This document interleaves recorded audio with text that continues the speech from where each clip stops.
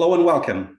My name is Bashir Fadl, but on behalf of LearnITCoursesOnline.com as well as LearnJobsOnline.com, I'd like to thank you. We do know that you have a variety of choices of IT training, and you've chosen us, so we really appreciate that and hope that you enjoy it. Thank you. Salesforce assignment rules. So let's suppose that we're a real estate agency and we have branches in California and branches in New York. And we went to the MLS, which is kind of the center area or database where we can buy leads, people who are interested in buying homes. We bought a thousand leads. 500 are interested in buying homes in California and 500 are interested in buying homes in New York. And we have a team of 10 salespeople or realtors, five in New York, in California. So as we load 500 leads that are interested in buying properties in New York, should we wait and put the load of the work on our realtors to search and find who wants to buy in New York if the realtor is in New York? And the same thing with the people in California? Or can we use assignment rules? Which basically is a way within Salesforce, as we will see, where as we're loading our leads or even cases, it could automatically route those that belong to New York to the New York realtors and the other 500 that belong to California that are routed to the California team.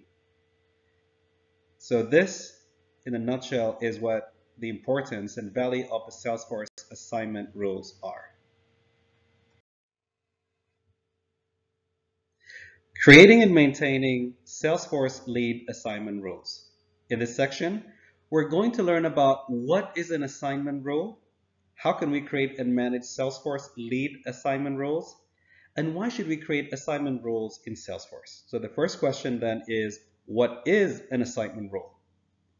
Assignment rules are used to assign leads and cases automatically to assign users based on a criteria. There are two types of assignment rules in Salesforce, which are number one, lead assignment rules, and number two, case assignment rules. So what are Salesforce lead assignment rules? Salesforce lead assignment rules define the administrators to assign a lead to users and queues based on a criteria. A lead can be generated either by manually or generated from the web. What are case assignment rules? Salesforce lead assignment rules define the administrators to assign a case to users and queues based on a criteria. As such, a case can be generated manually, generated from the web to case, or also from email to case. How to create Salesforce lead assignment rules. So creating and managing Salesforce lead assignment rules are very important. Let us see together how to create lead assignment rules in Salesforce. To create an assignment rule, we'll log in into Salesforce and navigate to Setup, then Build, then Customize, then Lead, then Lead Assignment Rules. Or we can simply go to Setup and search for Lead Assignment Rules, and then click on Lead assignment rules as shown. So now we'll click on New button to create the new Salesforce lead assignment rule. This is where we enter the rule name. Then the assignment rule must be activated as shown and then click on the Save button. There are only one standard rule in our Salesforce. If we create new assignment rules in Salesforce, the first standard rule will be automatically deactivated. At a single point of time, only one assignment rule is active. For a single rule, there can be multiple rule entries. When creating a rule entry, we always have to consider three important factors, which are the order number, the criteria, and who it will be assigned to and then we click on save. So now we're moving forward to see how we can create a new rule entry in Salesforce lead assignment rules.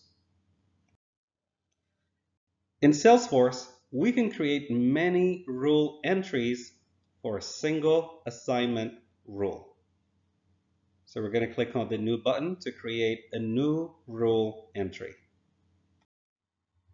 So now first, we're going to enter the sort order as number one and then number two, we're going to enter the rule criteria.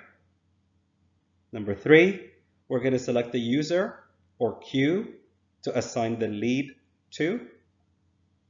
Select the user and email template, and then we click on Save button. So we have created two rule entries with order number one and two successfully. In this Salesforce lead assignment rule, generated leads will be automatically assigned to either the country United States or the country United Kingdom.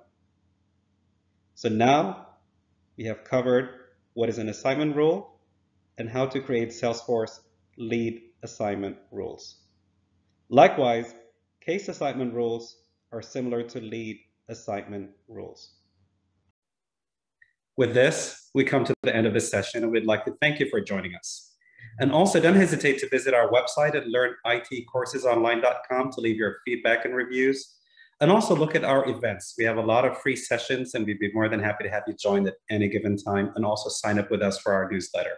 Thank you and have a wonderful time.